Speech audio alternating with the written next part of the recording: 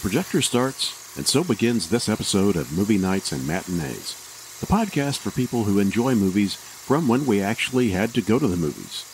I'm your host, Bill Groves, and this is episode 25, Maltin on Maltin, in which Jim Reed and I welcome as our first guest of 2024 none other than Mr. Leonard Maltin, whose work as a film historian has had a tremendous impact on both of us as fans of classic cinema. You'll have to pardon us for not welcoming him with the familiar theme from Entertainment Tonight, but we still have our own classy music, courtesy of Tyler Treband.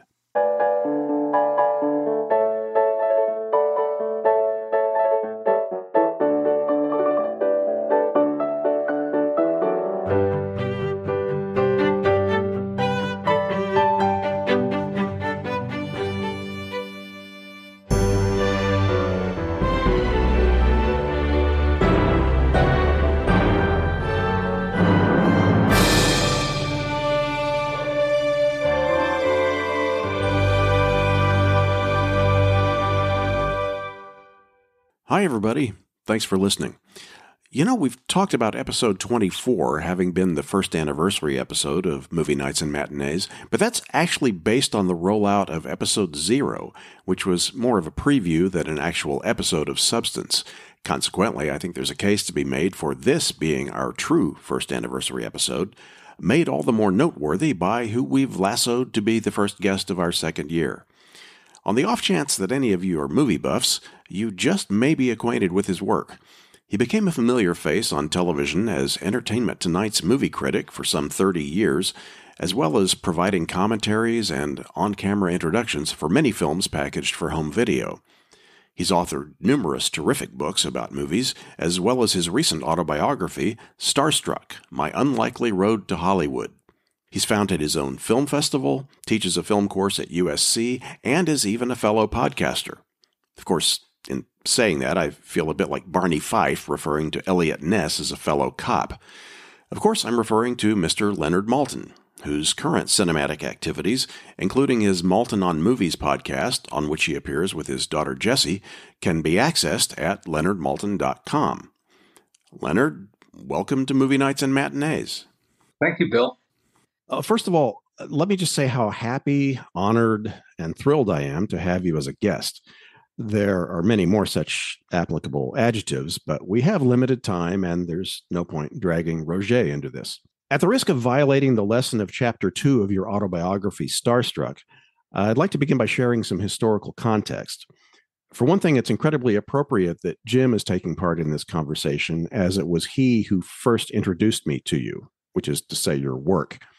As a fledgling classic film buff, I was fascinated with a paperback book called Movies on TV by Mhm. Steven Scheuer. And at some point, I was over at his house and uh, mentioned that book. And he said, Well, you know, there's another guy named Leonard Maltin who's done a similar type of guide, but it's better. And that was my introduction. And then followed up with he showed me his copy of movie comedy teams. And I eventually had my own copy of that. And that to this day remains my favorite movie reference book. Well, that's very flattering. There are times when I think I've met every single person who owns that book, Movie Comedy Teams. It came out at such a, the world was so different then. Paperback books were sold in Woolworths, in drugstores, on spinner racks, in card and gift shops. And this was before the mall, the malling of America took place and B. Dalton booksellers came to be, and then Borders, and then eventually Barnes and Noble. And uh, I benefited from that that turn of events, benefited tremendously. And now it's gone back. The pendulum has swung the other way, and hard to find a bookstore. That's true. At the time, you didn't have to go to a bookstore to find movie comedy teams. Go to the same place you bought comic books and see this book was priced at a dollar and a half which was just about affordable for a lot of teenage, mostly guys, who liked Laurel and Hardy or Abbott and Costello or the Three Stooges or the Marx Brothers. And that's why I say I, I, I think I've met all my readers because uh, it was not a huge hit, but it was a modest success and has uh, stood me in good stead all these years.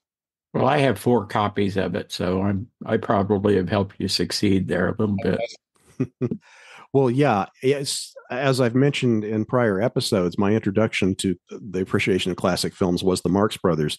And I don't know if I, by the time I got my own copy of Movie Comedy Teams, if I had Joe Adamson's book, but nevertheless, your book furthered my knowledge of Laurel and Hardy, the Three Stooges, Abbott and Costello, and introduced me to really well the Ritz brothers I had I think just learned existed but I knew nothing about them so you filled in that gap introduced me to Wheeler and Woolsey Clark and McCullough it's just to this day uh, I just love that book and refer to it quite a bit this is actually the first time we've been able to have a complete conversation. I did meet you. Well, we had some correspondence a number of years ago. And later on, when I did Television Chronicles, you were complimentary about that project. And I finally got to meet you at a, you were doing a Q&A at Dave's Video mm-hmm. in Sherman Oaks, the Laserdisc store. Late lamented Dave's Video. Right. And you were talking about this new technology coming out called DVD. And you had this this Q&A session and I tried to ask a question and I to this day I cannot think of the way I could have phrased it. it. It was kind of a technical question, but what I blurted out you you somehow managed to provide an answer even though I, I didn't succeed in framing the question intelligently had to do with the whole pal ntsc thing and how that might impact the availability of foreign titles and that sort of thing. But I did get to meet you, and so that was uh, that was a bonus for that. I mentioned in passing your autobiography, Starstruck. My wife Debbie and I both read it. Well, actually, we both listened to it, the audiobook version, and loved it. it. It was terrific. And hearing you tell these stories, you know, and your your life in your own voice I just I have to wonder after chronicling the careers of so many other people in the entertainment industry, what prompted you to tell your own story? Well, the pandemic had something to do with it. Being locked here in my in my home where I normally actually work wasn't a big change, but it gave me time and a motivation to get up every morning. I had a project to work on, and I had a publisher called GoodKnight Books that was interested in publishing it. So that was uh, that was a happy set of circumstances, and it seemed like a good time to. I think a lot of us had an opportunity trying to make lemonade out of lemons to reflect a bit, maybe more than a bit during that lockdown period. Yeah, my experience with other guests has been that the pandemic produced a lot of books. It mm-hmm. turns out. So let's say the silver lining in that cloud, yeah. certainly but as I said, uh, Debbie and I both loved it, and she. I'm so glad. Yeah, she just raved about how it felt like she was listening to a friend talking about his experiences, and it occurred to me also, you know, I think I need to get a hard copy of the book. So I'm going to recommend that to people. I would you should go. You should listen to the audiobook and you should get the hard copy because on the one hand there's just no substitute for hearing you know the man tell his own story and stories and by the same token i thought you know, there's probably some really cool pictures in the hard copy. And so I got myself a hard copy, and sure enough, there are some great photos in there. So uh, you know, it's it's a good double dip opportunity. Well, may your listeners take your advice, and may their tribes increase. now, eh, this, of course, is one of the things that will be in the book, but I, th- I think it probably is useful to dive into here for the benefit of people. I mean, there's bound to be someone that you know is going to run across this podcast who maybe isn't that familiar with you. And so, by way of introduction, how was your love of movies first cultivated? Honestly, through television, because I'm a child of the first TV generation, born in December 1950. So I never recall there not being a television set in our home, in our apartment where we lived till I was four. And TV in those days was a living museum of movies. They had to fill up a lot of time. And in New York, we had seven channels, which was a lot more than many communities had. And they had nothing but time to fill. So they filled it with old movies. And during the uh, morning and late afternoon hours, they decided that that was a great place to show cartoons from every conceivable source and old comedy shorts like Laurel and Hardy, and our gang, aka the Little Rascals, and the Three Stooges and similar stuff. So that's where I first was swept up by all of those things, plus watching Walt Disney, watching Walt Disney every week hosting his own hour long TV show, which was originally called Disneyland. The show existed before the park was completed. And I felt a connection to Walt Disney, and I, I still do. In fact, I feel strong connections to all of those things that I watched and absorbed and took in. Get that Roget out, find other words for that, but I absorbed all of it like a sponge.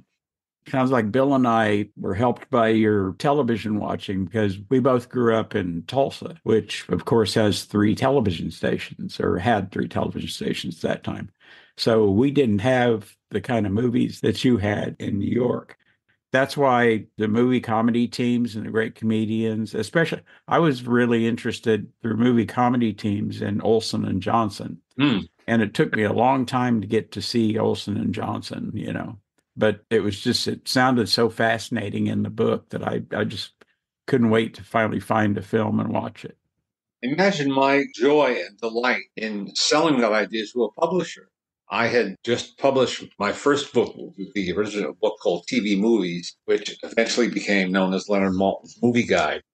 And that got my foot well in the door at the Signet Books, which was then a division of New American Library. Today it's Penguin. It's Penguin Random House. So it's part of a giant publishing entity. But they were willing to hear out my ideas for another book. And I submitted three ideas, two of which I thought were fairly commercial and then the one that I really wanted to do for myself, for my own satisfaction. And that's the one they took, and that was movie comedy teams. Uh, speaking of TV movies, I just wondered, and this is something I hadn't really intended to ask until fairly recently. The idea crept into my head, so straying off the path a little bit here. But I wonder, with the various staff members that you brought in who contributed the synopses and, and ratings and so forth, how often did you get into debates with any of them about their opinion of a movie versus your own? Well, when we got up to speed, we did the first book. First book came out in 1969, and I was a freshman at NYU. And it was five years before they asked for an updated version of the book. That was the first chance I had to fix mistakes, expand on some reviews that I thought were a little too terse first time around add cast members, do things like that. That was 1974. Then they took four more years to ask for another, and that was 1978. And then in the early 80s, we went on a every other year schedule, biannual. And within just a few years, the mushrooming of home video, this is the 80s now, early 80s, made it obvious to my publisher and then to me that we had to go to an annual schedule. And it was that was quite a process. So it's a long-winded answer to your question.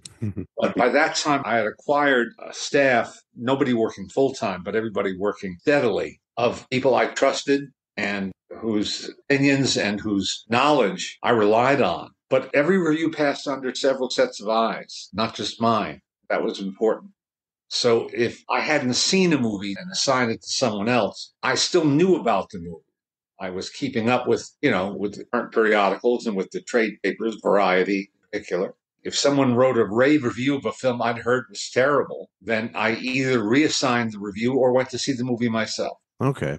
Yeah. The, the reason I felt compelled to ask that is just from some of the things that I've read in some of your books, it seems as though uh, you and I, from what I can tell, and I don't know, maybe you hear this from everybody. It may just be one of those things where everybody sees something, some commonality, but I see some similarity in taste as far as I can tell. For instance, your lesser opinion of the first Gremlins uh, that you mentioned uh, in your in your book Starstruck. I wasn't crazy about that either. I thought it was too violent to be funny and too screwy to be scary. I like the second one better, which you happen to be in, and you talk about that in Starstruck. So that just kind of made me wonder because there's a movie in there, and I'm trying to get Jim to watch this one. He hasn't seen it called Fire Sale, the Alan Arkin comedy. Uh-huh. It got a bomb rating in your book. It's the only movie that's ever made me literally laugh myself sick.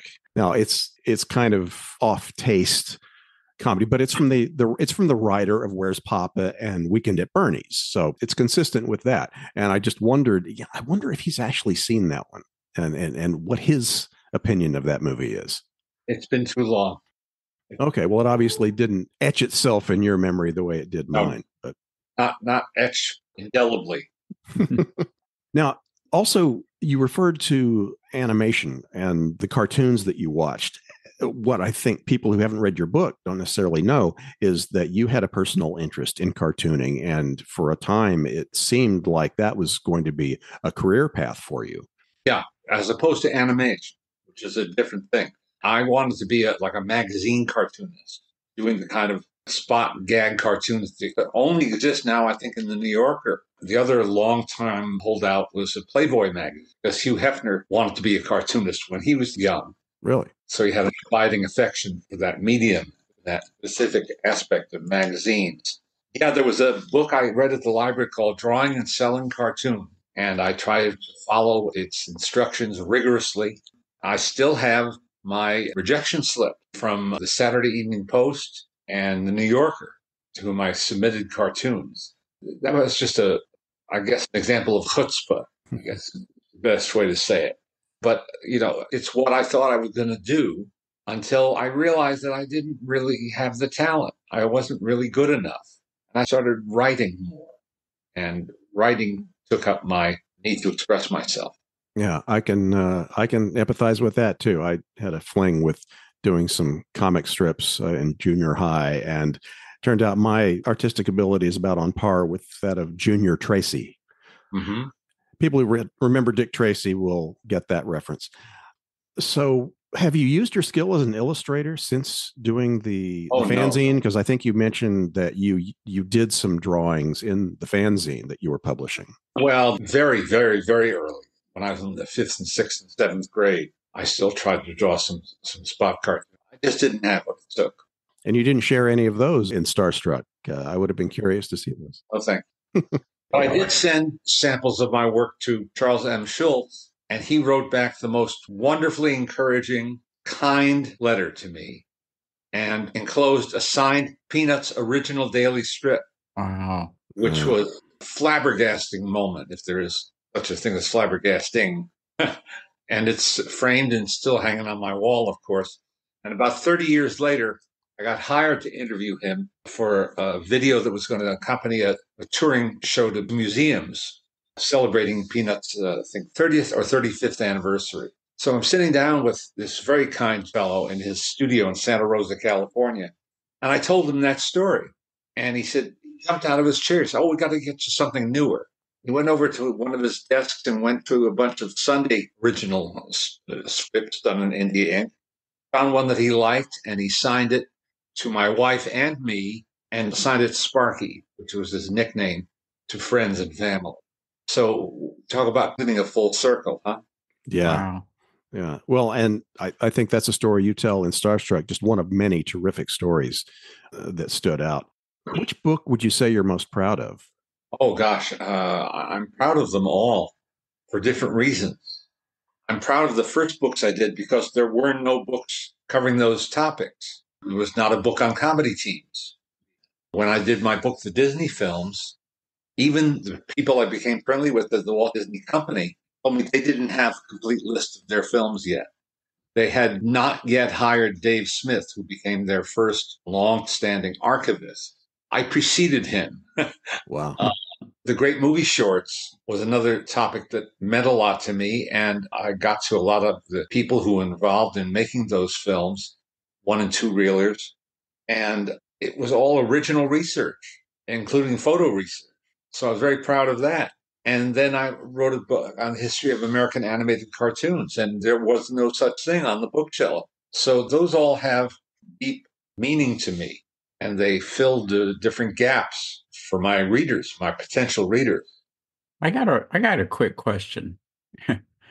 when you put out the Our Gang book, I noticed that it said Our Gang on the cover, but then when the when the paperback came out, it said Little Rascals. Yeah, I decided that uh, it couldn't hurt. Uh, so many people only know them as the Little that I thought, and we'd had great success with that book. Our publisher did not believe in that book at all. In fact, they thought they had a, a dog on their hands because the Nostalgia Book Club turned it down. And instead, it just kept going back to press and back to press and back to press and stayed in print for a good long time. And then about 12 years after the first book was published, both Dick Bann and I had moved to Los Angeles. And he, in particular, had learned so much from spending time with Hal Roach and spending time going through the Hal Roach studio papers that uh, we felt it was time to do a proper revision. So uh, it wasn't just a reprint, it was a revision. And that's when we decided, let's try Little Rascals this time. I really enjoyed when you used to come to Dallas to do uh, the programs at the USA Film Festival. I enjoyed doing those. Yeah, you did one on short subjects and one on uh, animation. I remember. Mm-hmm. You and Bill Everson really made that really worth going to. Well, Bill Everson made anything worth going to. Yeah. William K. Everson. Yeah. In doing your research of the various books, what would you say if you can point to a single thing or if anything stands out? What's the biggest scoop, for lack of a better term, you got? Some piece of some nugget of information that no one else had ever touched? Oh, well, I don't think I can isolate a nugget. I talked to people that no one else had talked to, or no one else had bothered to talk to in many cases and most of them have since passed away. Some of them later became good resources for other authors and other uh, fans. Hard for me to pick one thing, but I was proud of getting Pete Smith to write the foreword to my great movie shorts. This past week, my wife and I have seen two Pete Smith specialties on Turner Classic Movies, mm. oh. and uh, I never got to meet him in person, but we corresponded. Oh wow! Yeah, that's a, a, a, unique voice in the history of cinema there. Exactly. Of the interviews you've done, who was the hardest one to get? Uh, well, there's two phases of the interview. The one when I was a kid knocking on the door, like what I was, like a young fan, trying to get through to the person and not having to go through an agent or a publicist or some other gatekeeper. Then when I started to work for Entertainment Tonight, everything changed. It was a big hit TV show, and that opened almost all doors. So, what I think about when I think about that is the ones that got away. I came close to interviewing Stanley Kubrick. Hmm. I was set to interview Federico Fellini, who was supposed to be coming to Montreal for a film festival there, and I was going to meet him there. He got ill, canceled his trip. So that's what comes to mind. But it was E.T. that, which I did one of the first interviews Katharine Hepburn had ever done for television. Jumping ahead a generation, I got, I think, the second television interview Robert De Niro ever granted. Well, you know, covered a wide swath. Of the interviews that you've done, are there any that, for whatever reason, you didn't expect to go well, but they ended up going much better than you expected? Well, a more a more contemporary figure, James Spader, uh, who just wrapped up a nine-year or something like that run TV show, Blacklist. Hmm. He'd made a film called Primary Colors with John Cusack, and I was assigned to go to the press junket by Entertainment Tonight. And the, the film was okay, nothing special. And I wasn't a particular fan of his. I mean, you know, he's a good actor, but but I didn't even do my homework properly as I was driving over to the hotel where the press junket was taking place, it talked a little about his background in North Andover, Massachusetts. Well, that's the home of dear, dear friends that we used to go to visit almost every uh, Christmas and sometimes in the summertime as well. And my friend was a dorm master, and we would go when school was out of session so we could stay in one of the better rooms and bring our dogs and they could run free in the field. Uh, prep school. So when I sat down with James Spader, I deliberately tossed out something. I said, What's your favorite flavor of ice cream at Benson's? There's a little mom and pop ice cream stand that only existed in the summertime. Said, How do you know about Benson's? And then we were fast friends. We were off and running. He even knew my friend who had taught at the Brooks School there for many, many years. So there's an example of having no expectation.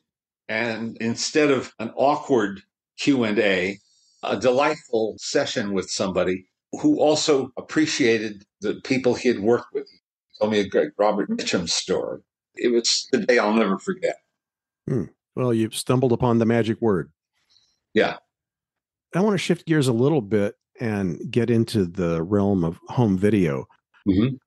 Back in the, uh, this would have been, I guess, the 80s. Yeah, because it wasn't long after I was out of college. I was working in a video store, and among the titles we had was the series put out by Warner Brothers, Warner Brothers Night at the Movies. Right. And you appeared in that uh, doing introductions and essentially hosting the program the way it was structured. Now, was that something that you had come up with, or was that brought to you?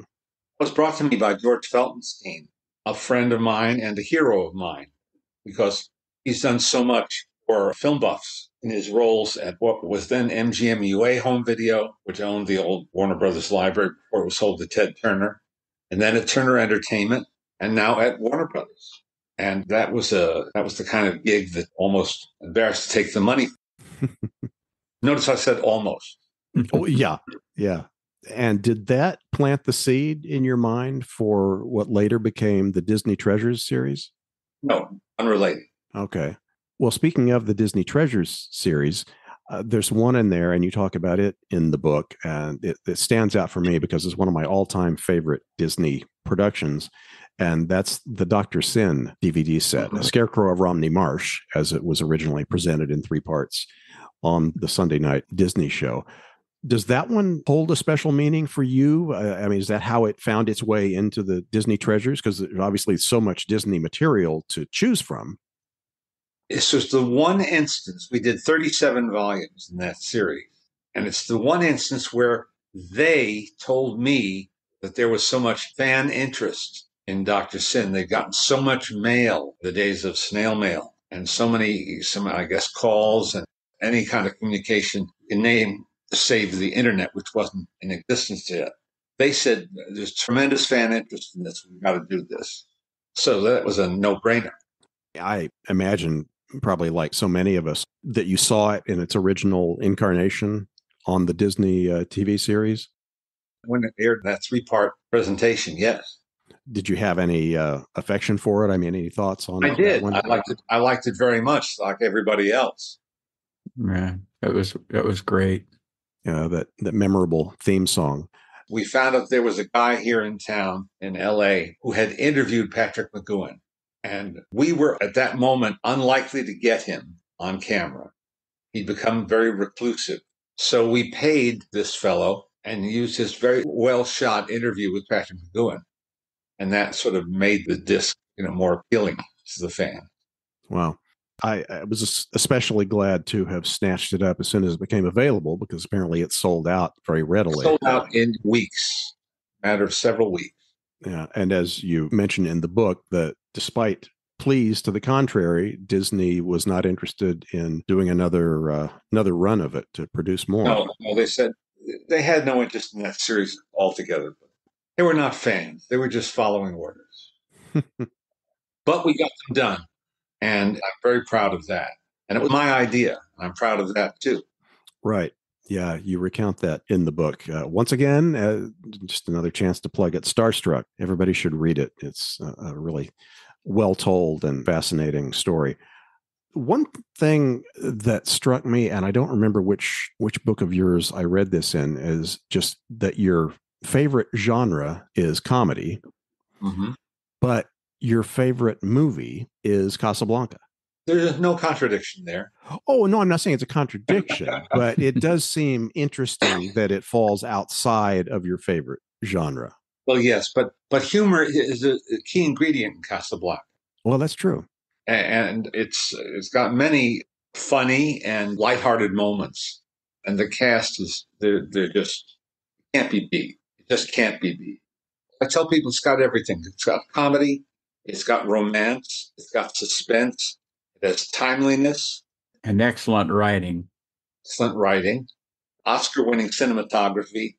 And a cast that is perfectly chosen down to the very tiniest roles, people who only have one line of dialogue, are perfect. They're colorful and interesting.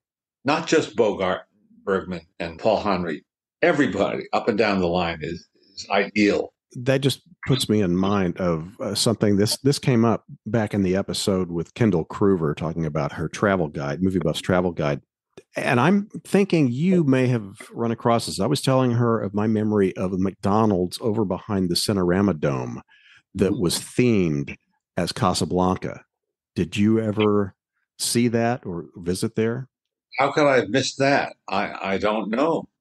I missed the McDonald's. Well, it's still there, but the McDonald's on Ventura Boulevard in Studio City Mhm. uh, that was right across, is right across the street from CBS Radford, which is now just called, I think, the Radford Studio, and which was originally Mack Sennett, and then re- for 20 years, Republic Pictures.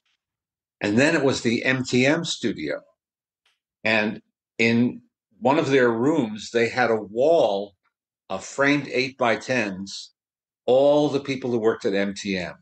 Mary Tyler Moore and that whole cast, Bob Newhart, all that cast, Hill Street Blues, all of those actors. And I'm sure it was the only McDonald's that could boast of that until they wanted to build a play area. And they built a play area and took away all those photos. Oh, wow. Well, this this McDonald's over there was fascinating because they used the the I I don't know what the term would be the the style of of tile that uh, was used in the architecture there. They had a, a small replica of the Rick's Cafe American neon sign at the counter where you'd order. They had tablecloths that were, I guess they were vinyl, but they looked How did like I not know of this? they looked like palm fronds, and they had a replica of the piano over at one side. Now I don't know if they ever had anybody playing it or not. Oh, and the chairs they were molded to look like bamboo. Uh huh. So it was just fascinating. I, w- I wish I had gotten a picture of it. I, I would have seen this in my first visit to LA. So this would have been early '82 when I Mhm. saw this. The shame. I've done a search on the internet. I cannot find any photos of it, but I remember it vividly. Now, this uh, again ties in, I guess, maybe a little bit to the the personal favorite issue, and and it maybe ties into the book you did 151 movies. Uh, I don't have it in front of me. It's 151 movies you've never seen. Yeah. Yeah, or the best 151 Yeah. movies you haven't seen. But that just puts me to mind if the, if there is a and it doesn't have to be just one, maybe two or three. I know that that there are maybe three or four that immediately pop into my mind, but if you're wanting to recommend a movie that the average movie buff probably hasn't seen, what are the first few titles that pop into your head? Well, I have a new one to add to that list, so I'll give Okay. you first. Great, uh, breaking news. There's a film about to be released called The Monk and the Gun. And it comes from the country of Bhutan, which had never submitted a film to the Academy Awards, but did four years ago, or no, five years ago, 2019. And th- that film is called Lunana, A Yak in the Classroom. It is an absolutely disarming film. You don't know what to expect. You don't know what kind of story it's going to tell. Will I be able to relate to this? Where is this exotic place? It takes care of all of that and takes you on a journey. The story isn't startling about a guy who hasn't really committed to anything in his life and career, who gets sent, uh, he's a school teacher. He gets assigned to go to the remotest village in this remote country, high, high up on the mountaintop. It takes five days to get there. And they have no power, no water, no running water, no internet connection. And he's supposed to teach school children. And of course, he does, and he falls in love with the place and wants to stay. So that's not as startling, but it's the journey, not the destination. It's the journey that counts. His new film is called The Monk and the Gun. And I showed that to my class at USC last week. I have 340 students, and only some of them are film majors. They're from all over the university, and they rarely agree on any film that we screen. But when I asked this past Thursday night how many liked The Monk and the Gun, every hand went up. And this is a tough audience to please, but they were so charmed by the film and the filmmaker, who's a very charming guy. So the one that's available on Netflix right now is called Lunana, a yak in the classroom. You can thank me now. You can thank me later. Okay. Well, I'll thank you now then. Now I will have to go check that one out. Now, another thing I wanted to ask, and uh, gosh, I have such a laundry list of questions I could ask about specific films, but it, it wouldn't fit in here. I'm wondering, I have what I've called my list of shame movies of some repute that just for no particular reason, I have never gotten around to watching. All About Eve is one of them, just as an example. I was wondering, do you have any kind of list of shame movies that are well known that just haven't gotten to? None that I admit to. there, Oh, there. At some point in my uh, growth and evolution as a film buff, I realized that there were films, mostly epic films, from the 50s and 60s that I hadn't seen, but I didn't want to watch on a television screen. I wanted to see on a theater screen. I decided, and I've never changed my mind, I decided that I would sacrifice seeing them until I could see them properly. And so there are some epic films, biblical films, popular in the 50s and 60s that I still haven't seen. You're not going to share them with us, though. No. okay. All I've got a question that, that kind of takes us back to the uh, the books, especially on the early books that you did. How difficult was that to compile those filmographies? That was uh, that was a job of work, as they say, but a job of great satisfaction when I did them and they turned out right. hmm I managed to get the information correct. I used all sorts of means. I talked my way into the storeroom, I guess you'd call it, of a warehouse that held the 8 by 10 still negatives for several major studios, including Columbia Pictures. And when I was doing the great movie shorts, I wanted to have cast lists for every, not, not just the Three Stooges shorts, but the Andy Clyde shorts, the other short subjects that they made. Well, I couldn't see all of them. I couldn't get prints to screen of all of them, but I could hold up the still negatives. And if you held them a certain way, these 8 by 10 negatives, in the light, you could see who was in them. hmm And that, that's how I built cast Wow. lists. Oh man, that's an interesting technique I not thought of. Okay, this is just one of those examples, something that just popped into my head. I would not have expected to even mention, but your book, Movie Crazy, I think it's Movie Crazy. At the back, you have a chapter on movies that were rescued from obscurity or complete loss. And you mention a series in there. And I, I for some weird reason, I just find I have a certain fascination with film series. Uh, a lot of the ones Columbia did things like Crime Doctor. And I recently discovered, well, recently, as in within the last year, doing an episode on Blondie and how i was surprised at how much I enjoyed those, that sort of thing. I never expected. Oh, and, and I should preface this by saying what originally led to Television Chronicles indirectly was I was working on what I envisioned as a book project. It was going to be an encyclopedia of movie series. And so I had hundreds of pages of filmographies that I had built up there. And until I saw your movie crazy book, I thought that I would never see in print any other reference than my own typed pages to Scattergood Baines. Mm-hmm. And I, I mean, I've still never seen any of the films, but I know it exists. I, I know that series exists. And I thought, oh, wow, validation. It does exist. Guy Kibbee exists in real life as well as on screen, Yeah. forever in our hearts. Yeah. I mean, it's almost like one of those situations where maybe you're up late and you see a movie on late night TV and it's so incredibly bad that very short order you think, did I really see that? Does that film really exist? Only to find, you know, run across a few years later, yes, Curse of the Swamp Monster was actually a film. But Guy Kibbee doesn't exist in Convention City, so No, that's sad to say. yeah. Oh, right. Yeah. I read about that one. That's too bad. Well, I mean, who knows? Is that is that one that could turn up in you know somebody's basement in Alaska, or did it not ever even get released? I don't remember. People have gone to South America in the hope that Warner Brothers distributed it there in 1933. turned over every rock imaginable to find some remnant of Convention City, but it doesn't seem to exist anywhere. Uh, and that's not one where there was a Mexican production using the same sets uh, shot No. at night or anything like that, where we'd have an approximation of it. Well, that's too bad. There was a, a legal reason that they destroyed that, right? The prints. I don't remember. I don't remember the backstory of why. Yeah. That, that's what I had in my mind. That may be right, maybe wrong. I don't know. Well, speaking of movie mysteries, now now this is going to be just a personal indulgence for me, but there are a couple of movie mysteries that have uh, haunted me for a number of years, and I just I have to wonder if you might have any insight into them. Of course, the 1941 Maltese Falcon classic, John Huston, Humphrey Bogart, and so forth. But of course, 10 years earlier, there was a production starring Ricardo Cortez I'm very fond of that one. yeah, yeah, I like it too.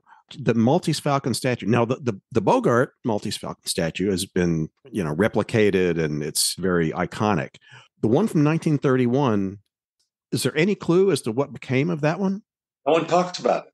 I I just read a piece in a new issue of Vanity Fair about the prop from the 1941. It doesn't even mention the earlier version. Wow. Well, I mean, I actually did see it turn up in another movie on screen, Mhm. uh, and that's is the John Wayne Western Haunted Gold. You see it sitting on top of a piano.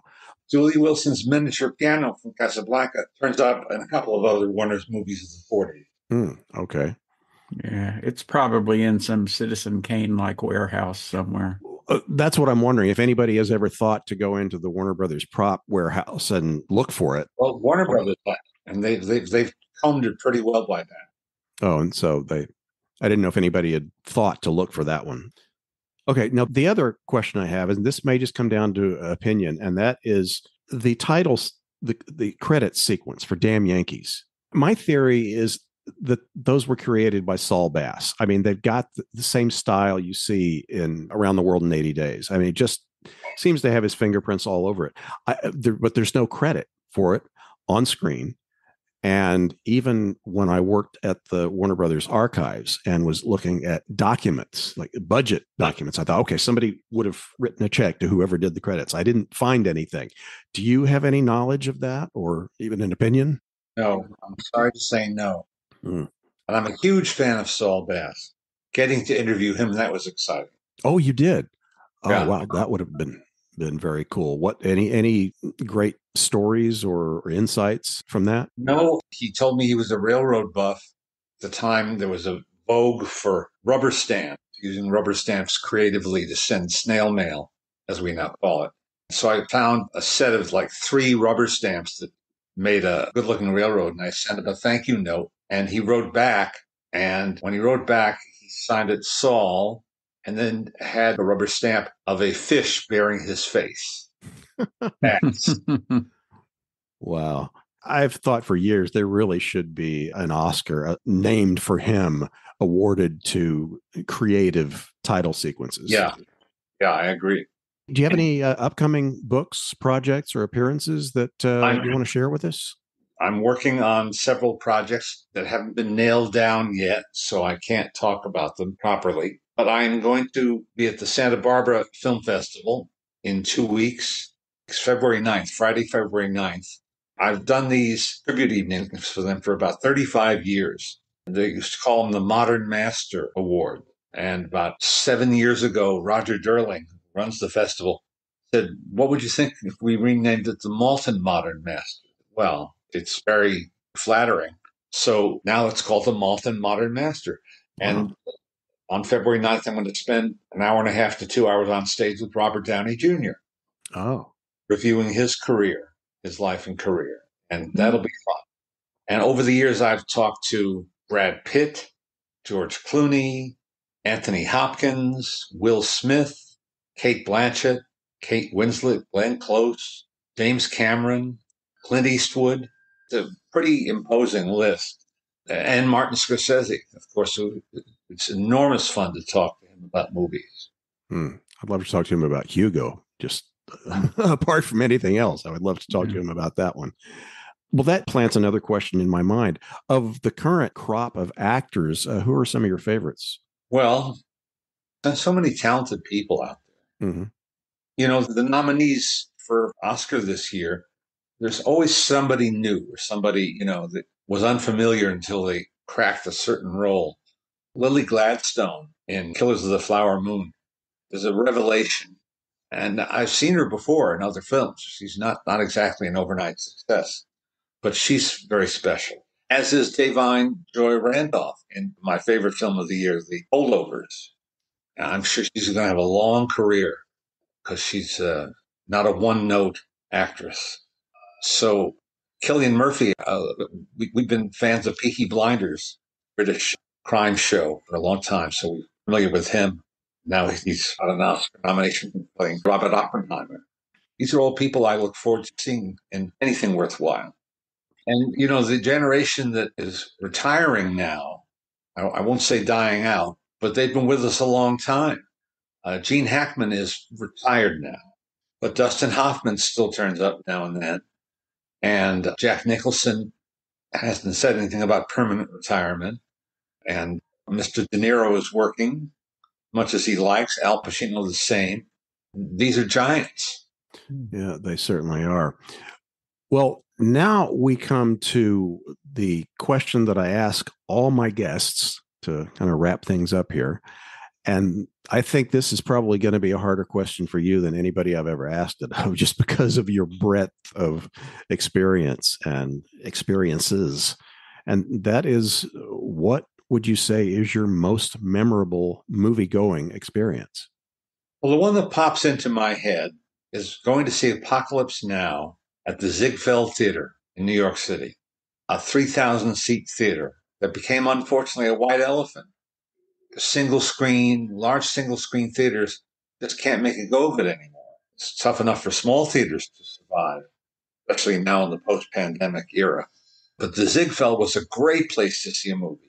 And that film, the helicopter attack scene, it's orchestrated by Robert Duvall's character in the film, where I heard the helicopters all around me was the first time I was hyper aware of sound, what a difference sound design could make in a movie presentation.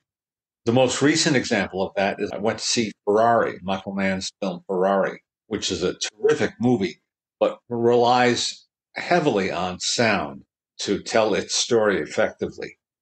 I mentioned Apocalypse Now. That kind of reminded me that in the early 80s, I was the production manager at the PBS station in Tulsa.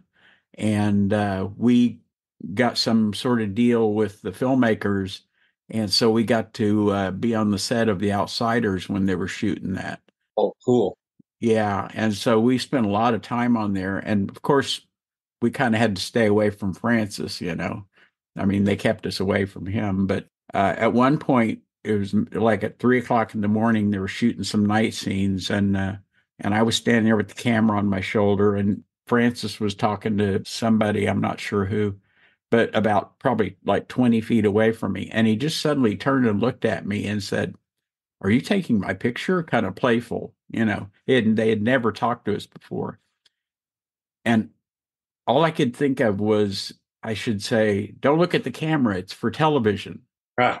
Which was his line from Apocalypse Now. And if I'd have said that, he probably would have hired me right there and taken me to LA. But of course, I just kind of, you know, so missed my big, my big shot. well, I want to uh, thank you again for sparing the time to join us and talk about your experiences, your career, your books, various films. It's something that I've really looked forward to for a very long time, having the opportunity to to have that kind of a, a chat with you. And I, I can only imagine Jim feels the same way. Definitely. Um, well, you know, it's nice to talk to guys. We all speak the same language. And that's the thing about old movie buffs. It's a hyphenated old movie. old right. Movie buffs, but old movie buffs. Yeah. Is we do talk the same language. One time I went to the Telluride Film Festival without my wife. It was won't go into all of the, the backstory. But we never do anything like that separate. We're always together. One time, and I met up with a film buff there, and I was being escorted. They had a somebody to sort of watch over me while I was down. And he accompanied us to lunch. And at the end of the lunch, he said, I feel like I was at the UN without an interpreter. he, he didn't understand a fraction of what we were saying to each other or the references we were pulling out of our hats. But I think we, we would all enjoy an evening together talking and watching. And my, my friend Jeanine Basinger, who's the smartest woman I know, mm-hmm. uh, says the only thing better than watching a movie is talking about it. yeah. Well, Jim heads up the Dallas Classic Film Group, and I've been enjoying attending his screenings here. Uh, all, all in uh, 16 millimeter, real film. Great. Great. Yeah. And uh, next month's The Adventures of Sherlock Holmes. Yeah. Yeah. So that should be fun. All right. Well, once again, thank you so much. My wife Debi says hi, and again, thank you for hi back to her for Starstruck. And for anyone who wants to pick up a copy of Star Starstruck, well, I, I, you've got a page on your website. I should first and foremost mention that where various merchandise can be acquired. Uh, and I gather your books are available through there as well, or no, they're not. Oh, okay. Well, on the Movie Nights and Matinees website, we have a bookshelf page. So there will be images you can click on that will have links to take you to Amazon and That's you can. Uh, Thanks for doing that. add these. Oh, it's my pleasure because your books are a pleasure to read. As you say, we speak the same language, read the same language. So I think people uh, discovering these books are really going to enjoy them immensely. And I can't recommend them highly enough. So, once again, thank you for joining us on Movie Nights and Matinees. Thank you, Bill, and thank you, Jim. As previously mentioned, many of Leonard's books can be found on the bookshelf page of the Movie Nights and Matinees website. Clicking on the book cover images will take you to Amazon, where you can learn more about the books and order them. As always, we would appreciate you leaving a rating and, where possible, a review wherever you listen to the podcast. And don't forget to hit the subscribe, download, or follow button, as the case may be, if you haven't already done so. You can leave comments on the website, as well as access some movie nights and matinees merchandise by way of the memorabilia link, anything from t shirts to lunchboxes to laptop bags. Also, don't forget to swing by the Facebook page, where you can interact with other listeners and sometimes see some photos related to the episode topics. Well, as much as I'd like to keep basking in the glow of Leonard's appearance here, it's time to draw things to a close and look to episode 26. Goodbye, pal. The time allotted me has expired. Where'd you get that from? I got it off my insurance policy.